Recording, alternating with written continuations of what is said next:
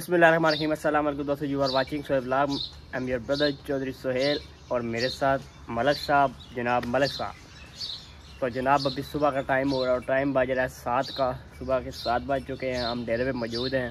अभी काम का करेंगे? आगाज़ और ब्लॉग का करते हैं? आगाज़ इस दुआ के साथ के जहाँ रहे खुश रहें। अल्लाह ताला आपको सदा सलामत रखे। मलक साहब साढ़े दोस्तों वास्ते दुआ शा कराया करो। हम तो करते हैं। साढ़े वास्ते करते हैं।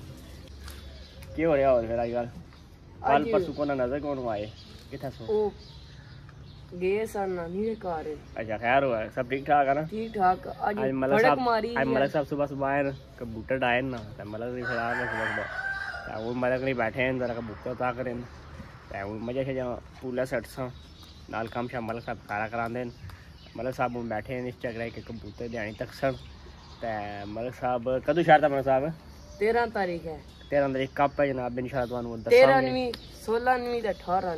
मतलब पूरी डिटेल लिखी है। सबसे पहले जो काम हमने करना है वो हमने करना है घोड़े को बांधना है अंदर क्योंकि घोड़ा अंदर होगा तो पैसे पुल में जाएँगे वरना घोड़े ने बांधनी है किसी ने किसी को टांग तो काम हो जाएगा ख़राब। मलिक साहब आज। मलिक साहब का शेर है कि मैं इतने इतने डोल मुल्तान है मैं इतने इतने डोल मुल्तान है चाचा पंजाब मेरे में क्या दे तेरा के नुकसान है। ओह क्या बात है मलक साहब ये खेल लेते हैं। मलक साहब तुम्हारी खेल सुनाइए। जी मलक साहब क्यों है? स्कूल। अच्छा बड़ा बैग जग लाए क्या जा रहे हैं मलक साहब? केड़ा स्कूल है।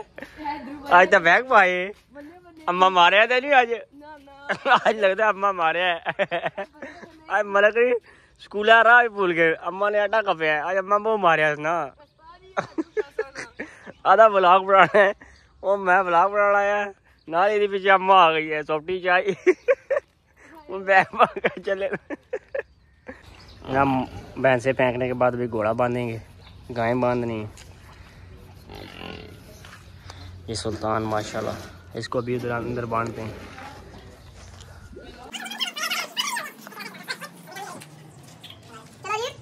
ਨਾ ਨਾ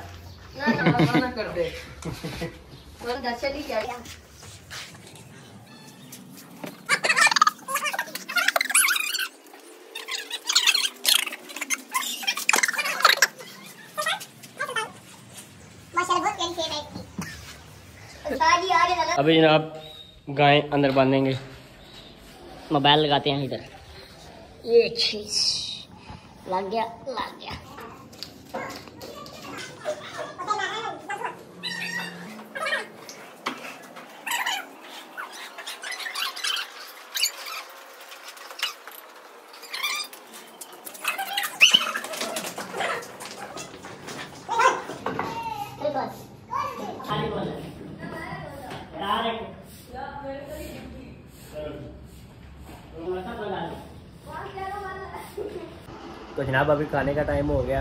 तो तकरीबन दिन के साढ़े बारह बज रहे हैं। तो अभी खाने में है जनाब नान और चाट। साथ में सादा पानी तो खा के फिर बच्चों का टाइम हो जाएगा। तकरीबन एक बजे उनको छुट्टी होनी है वैस और वैस और इलियास को। अभी जनाब जा रहे हैं ज़मीन में पानी लगाने। तो पानी आ चुका है, अभी जाएँगे, ज़मीन में लगाएँगे पानी। टाइम हो चुका है साढ़े पाँच का। अभी सारे चले गए, मैं और हैदर रह गए पीछे। तो मैं और हैदर जाने लगे हैं। तो देखते हैं पानी की क्या पोजीशन है। ये मलक साहब को भी हम साथ ले आए हैं। मलक साहब भी और मेरी जुत्ती भी करना फंसे देखिए, बड़ा करना है।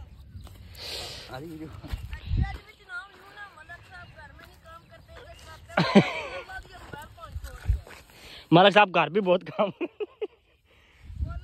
जनाब है पानी पहुँचाया तो मुदसर साहब बंद जेड़े ना वो ये खोल दे। मुदसर मकाम का आगे दो तीन रह गए हैं। उधर असलान को हमने भेज दिया है मलक साहब को, बड़े उस्ताद के साथ। बड़ा ब्लाक का, बड़ा ठरकी है मलक साहब। ये आप देख सकते हैं वाम ही वाम सब पानी लगाया हुआ है। बाबा जी ने लगाया हुआ है।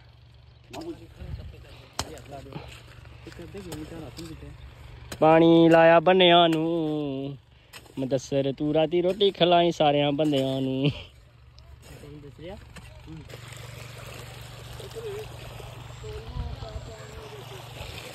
किराया ला? तो हमने माना जी से ले लिया बोतल।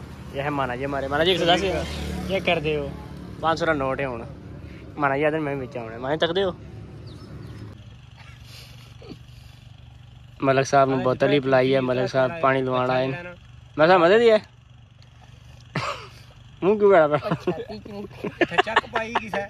छाती अच्छा जनाब अभी हम बैठे हुए हैं, इधर पानी लगा रहे हैं तो अभी मलक साहब से कोई गप सुनते हैं। मलक साहब जो ना, वो गप्पां शप्पां वाल सुनाते गप सही सच्ची सुनाने झूठ झूठ नहीं होता मज़ाक शक नहीं होता मलक साहब कोई अपनी ज़िंदगी थोड़ा कोई ऐसा वाक्य, कोई जिन्ना चिड़िया वाला। क्योंकि मलक साहब जो है ना, ये रात को आगे पीछे जाते रहते हैं ना, पानी वगैरह लगाते हैं तो इनके साथ हैपन होते रहते हैं। कोई ऐसा वाक्य इसलिए इन्होंने टोपी पहनी हुई है। किसी ने बताया था कि आप ना कैप पहन के रखो, मस्जिद वाली। जी जी, ठीक है। चलो हमने तो मतलब सब कोई ऐसा वाक़ हुआ हो। एक दिन मैं मिल के पास पानी लगा रहा था। अच्छा उधर घर के पास? घर के पास है वो काफ़ी दूर है ना मिल। मिल है, आटे वाली हाँ जी उधर लगा रहा था पानी। मिल के पास वो रहते हैं सूर। गंदम को? गंदम को तो ठीक है। दूसरा पानी था तो ना मैं कोई जिन्ना ना लिया किया तू और शुरू कर देना है। ना? छोड़ू है छोड़ू। अभी जनाब शाम का टाइम हो गया, सात बज चुके हैं। अंधेरा पहाड़ है। ये हमारे मामू की ज़मीन है। मामू ने लगाया हुआ है। जनाब अभी हो गए हैं, साढ़े सात का टाइम हो गया है। हमारी एक ज़मीन हो गई है ये वाली। अभी एक उधर रहती है। जनाब मलक साहब तो मैं बैठे हैं ते हूँ आपसी रोटी। अज फिर मलक साहब क्या खिला रहे हैं? मलक साहब, आज आ रही है जनाब। वाला दाल आ रही है सुबह लोबिये दी। समझे देना।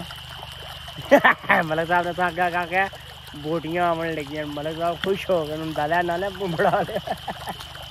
मलक साहब रोज स्टॉप थी रोज टेंशन नहीं। जानी जनाब है रोटी छोटी आ गई है। वो है सालन को पानी लग गई ये भी ठीक है नाल रोटी। जैसा नहीं जा टूट जा दस बजे तक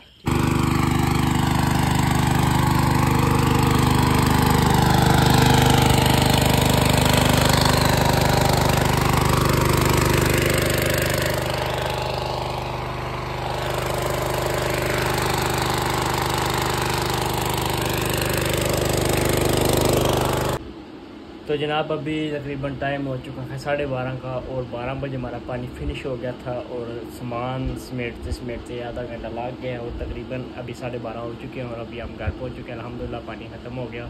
दोनों ज़मीनों में लगाए हैं और अभी आप हालत देख रहे हैं, आपके फ्रेश हुए हैं, थोड़े बहुत मुँह हाथ धोया है। नहाया नहीं, मुँह हाथ धोया है। तो अभी सोने का प्रोग्राम नहीं है, क्योंकि दूध निकाल के भैंसों का फिर सोएँगे इन सुबह अढ़ाई तीन बजे फिर उठना होता है सारी को। तो फिर हम मैंने यही फैसला किया कि मैं सोऊँगा नहीं। काम करके, मुकम्मल करके फिर शायद सुबह सोऊँगा। तो इसी के साथ दीजिए यार, आज का ब्लॉग करते हैं ख़त्म। उस दुआ के साथ के जा रहे हैं, खुश रहें। अपने बाइक चोट से दीजिए इजाज़त अल्लाह हाफिज़।